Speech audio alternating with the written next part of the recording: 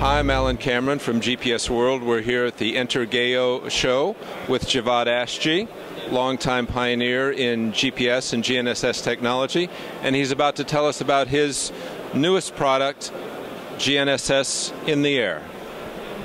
Okay, thanks, Alan. When we saw interest in this field of uh, using uh, UAVs for photogrammetry, we started from scratch and we thought and we talked with uh, aerial photogrammetrists to find out exactly what they need and we designed everything from scratch. We didn't start with a toy airplane or something and to stick in there a GPS board. Everything in there is designed by us except propellers and the motors.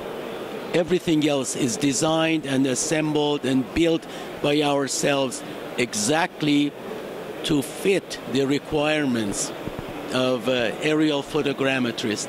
And we were so pleased to get the comments. A group of people from European photogrammetrists, they told us they looked at everything and this is the only one that they saw is done professionally for this field. So we put in the last 12 months our heart and mind into it, and it's fun to see that it is being accepted. We plan to fly it first quarter of uh, 2015. We had the test flight about a month ago, so we are just finalizing software and hardware. Now I can see what puts it in the air, but what's what is at the core of this machine? The core of this machine is the high precision GP, GNSS. It's very similar to our field tested Triumph 1, and we added eyes and wings to Triumph F1. And how many channels?